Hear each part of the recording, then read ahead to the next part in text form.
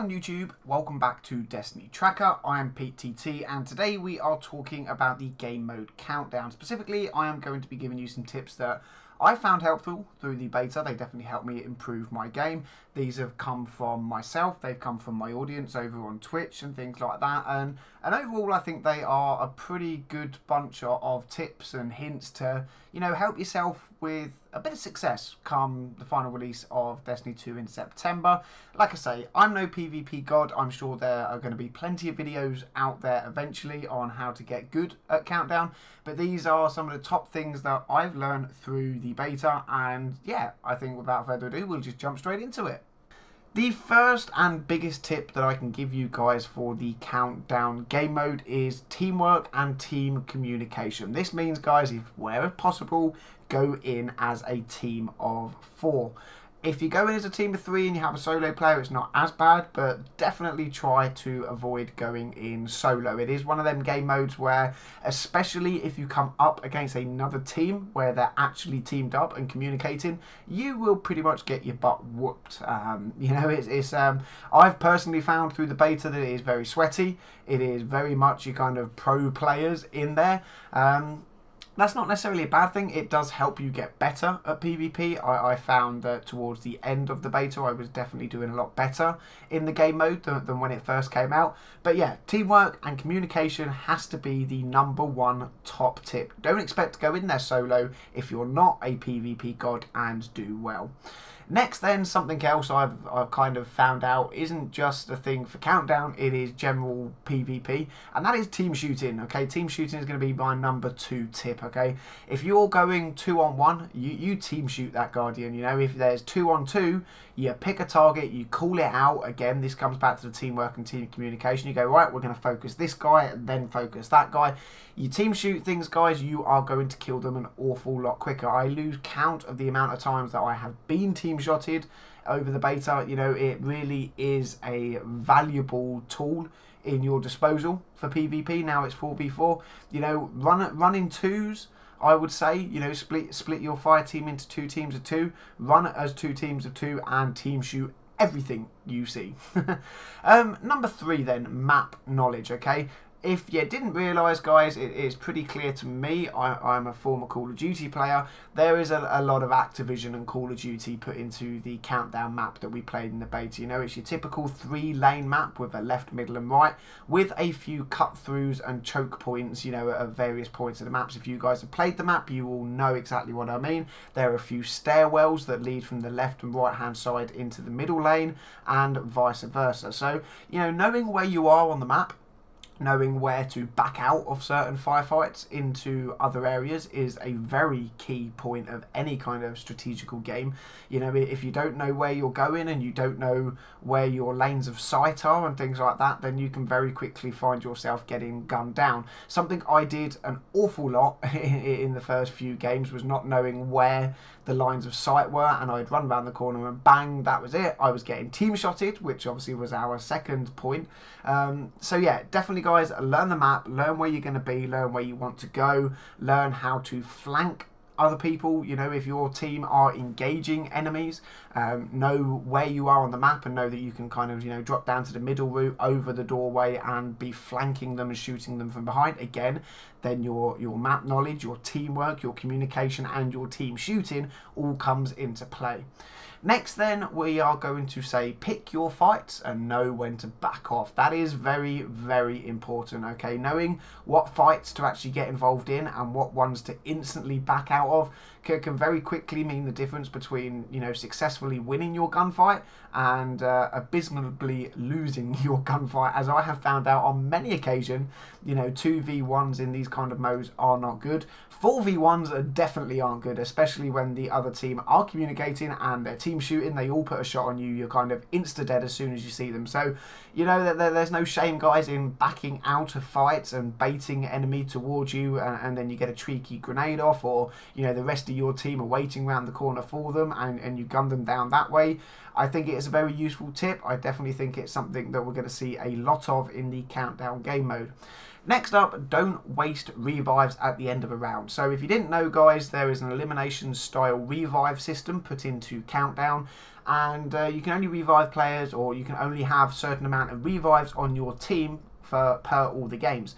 So if you know you got teammates dead but you win the round, don't go and waste a revive getting a teammate up at the end of the round because it's not going to be very useful. It wastes a revive. And you never know in the next round you might need that revive and not have it because you got a teammate up needlessly at the end of the previous round. Next then, know where the power ammo drops and when, okay? We know how long the timers are from when you first spawn in for power ammo, know exactly where they spawn, know the line of sight to the power ammo. You know, you don't want to be going and running to the power ammo in the scope of a waiting guardian just waiting to shoot you in the back while you load your fusion rifle.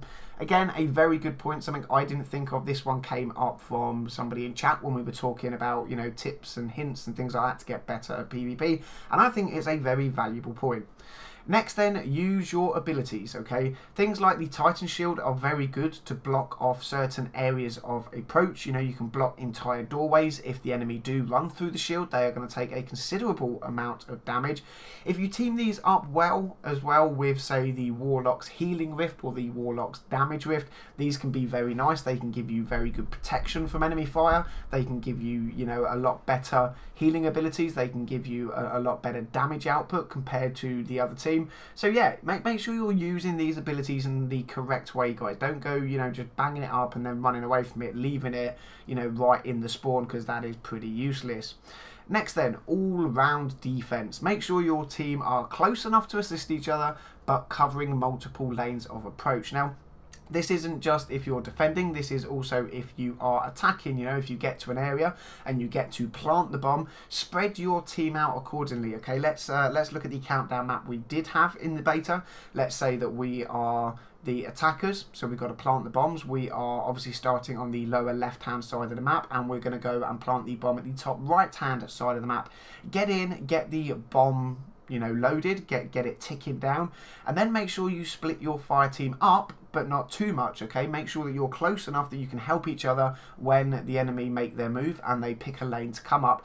Uh, what what we found was very useful if you use the top room then you can have one person kind of hanging out on the right hand side looking down towards the other bomb. You can have one teammate kind of looking down towards where the power ammo is on the middle stairs and one person covering the route you came up from your spawn just to make sure you know they don't try and flank you.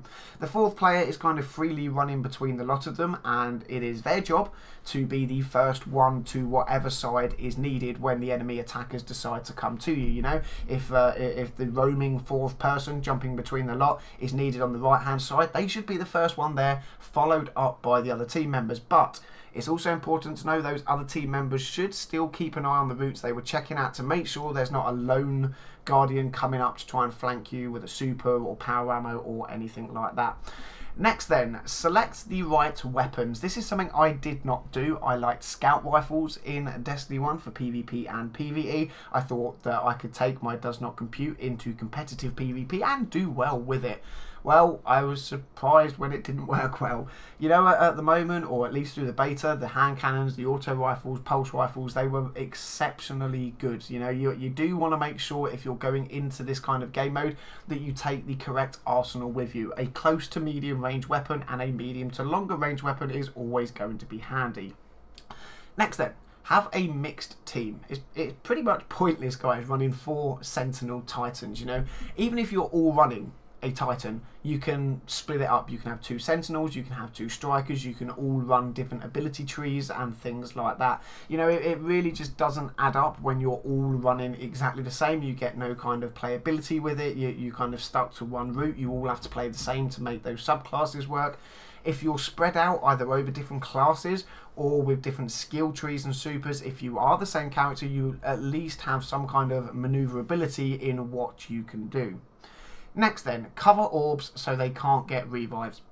You know, pretty much like you do currently in Trials of Osiris, guys. If you get a kill, you watch the orb. You don't just leave the orb and go running off down the street to try and get the next kill, you know. The bottom line is, if you are killing Guardians and you get one of their team down, you're now in a 4 on 3 situation. You definitely don't want to waste that advantage by letting them get the revive. So cover that revive when they come in. Again, your team shooting and thing comes into play. You get the second one down, you're now in a 4 on 2 situation. Again, you know, that some of this is probably common sense, guys, but I just thought I would put it out there for you.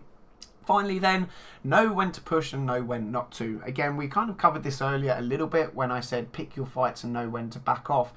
But um, you know, know, knowing when to push forward is as equally important as knowing when to back off. If you're in a one-on-one situation and you know that you've already put a good few shots on that guardian and they are weak, you, you do want to push them and try to get that kill before they get their health and shield back up.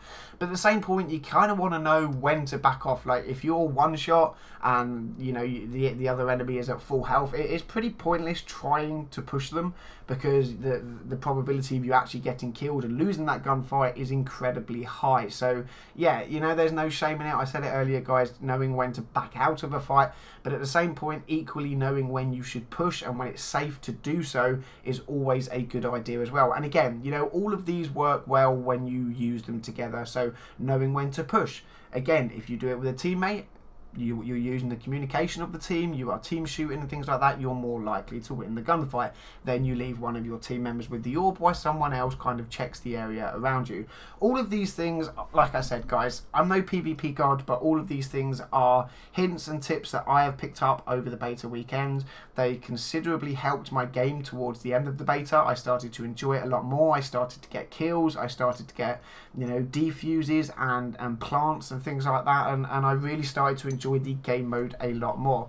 And again, I'm sure, you know, your top tier players will have videos out eventually, so make sure to stay tuned on their channels. I'm sure, you know, someone will put together a sweaty guide on how to be sweaty and destroy everything in Countdown. But that's not going to be me. What I can hopefully do, though, is help some of the more mediocre PvP guys like myself do a little bit better and hopefully enjoy the game mode a bit more. Now, if you found this video helpful, guys, a like and subscribe would be greatly appreciated. And uh, yeah, that's pretty much going to wrap up the video. As always, thank you very much for watching. And until the next video, we'll catch you all soon.